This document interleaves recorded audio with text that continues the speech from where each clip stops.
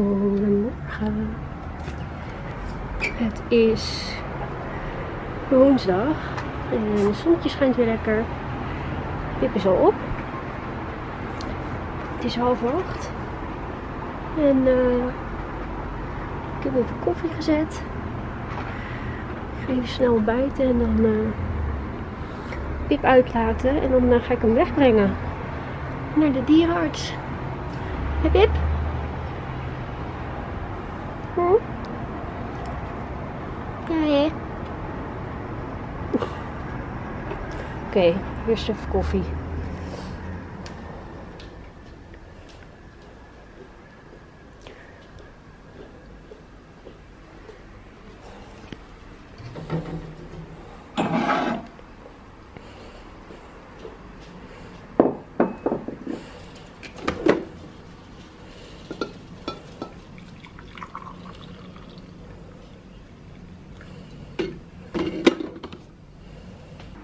Ik kan jou geen ontbijt geven.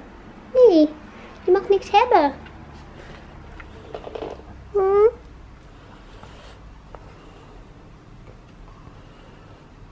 Poepie.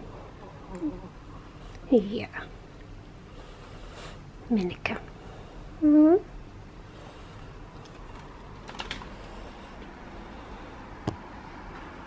Oké, we zijn er klaar voor. Even kijken. Zijn gebitscontrolekaart, paspoort. Alle medische informatie. Pinpas. Rijbewijs. Dit heb ik. Sleutels. Garage. En mijn telefoon. Nog zijn riem. Pippi. Pippi. Ga je mee? Ga je mee? Ja, we gaan eerst even een stukje lopen. Ja.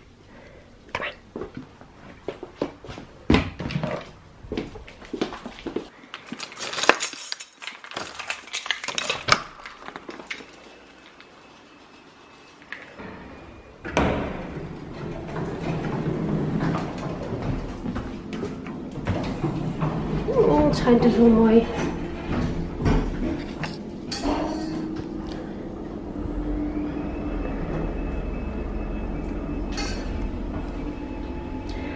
Super mooi weer. Heerlijk.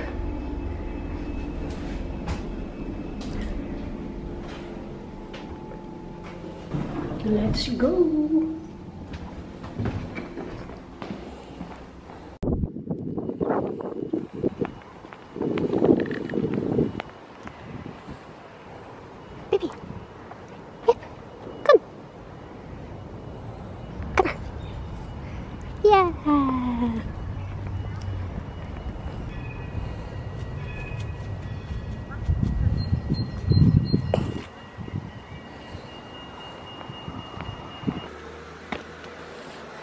Zit je goed? Zit je goed, Pip? Nee?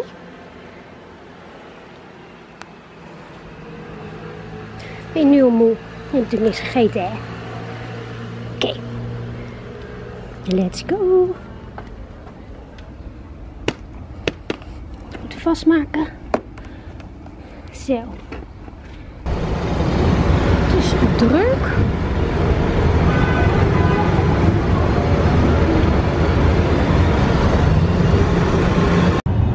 Weet het al precies. Het is echt ongelooflijk. We staan echt helemaal aan de overkant van de straat. En heel te shake als een rietje. We zijn precies op tijd. Niet te vroeg. Je hoeft ook niet langer zenuwachtig te zijn. Nee? You can do it.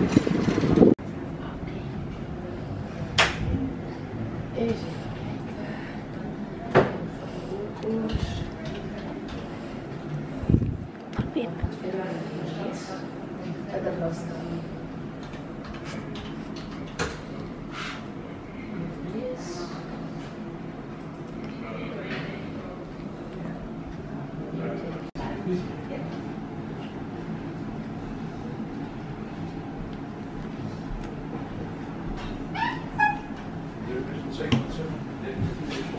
Oh, oké.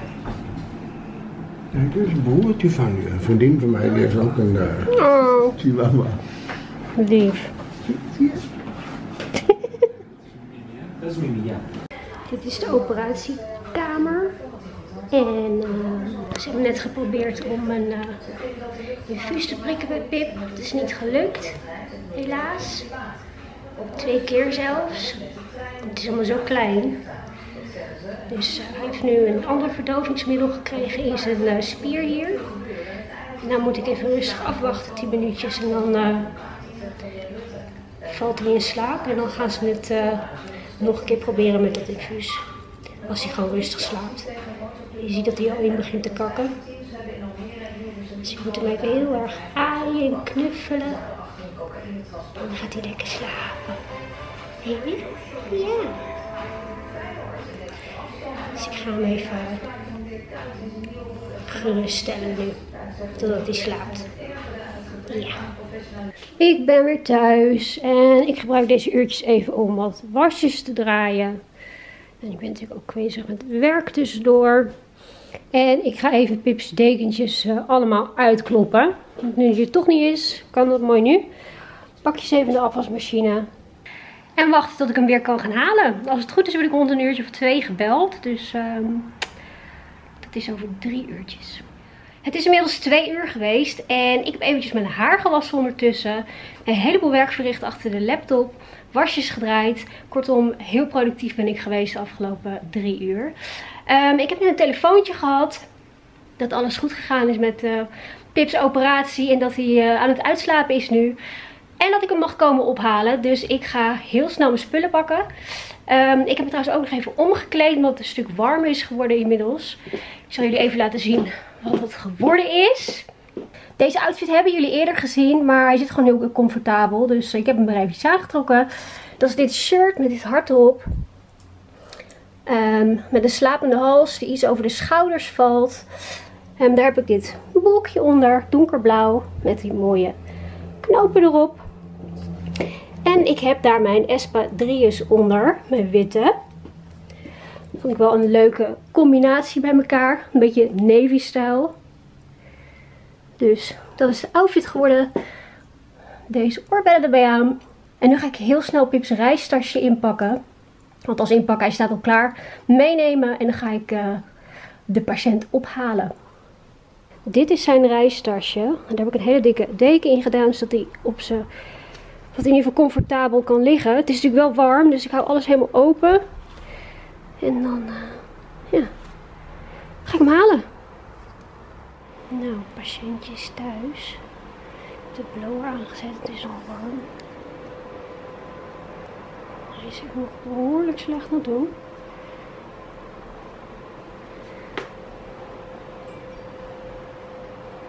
Laat hem even rustig zo moes uitslapen.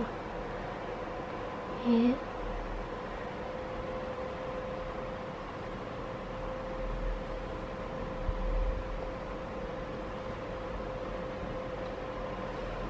We zijn inmiddels een uurtje verder.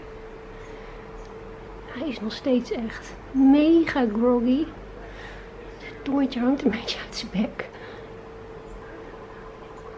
Ik heb hem net even wat water gegeven met mijn vinger. Beetje druppeltjes. Vond hij wel lekker. Een beetje bloederige mond en tong natuurlijk. Ik zie hier ook wat... Uh... De tongetje dat blijft overigens niet zo. Maar... Uh... Wel zolang die zo groggy is. En die spieren allemaal zo slap zijn. Zie, hij is toch ook wel weer een beetje alert. Ik laat hem even rustig verder slapen.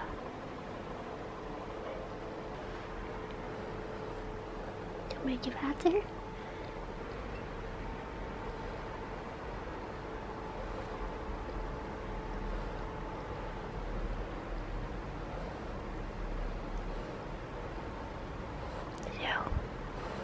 vieze bloedsmaak uit je mond, hè.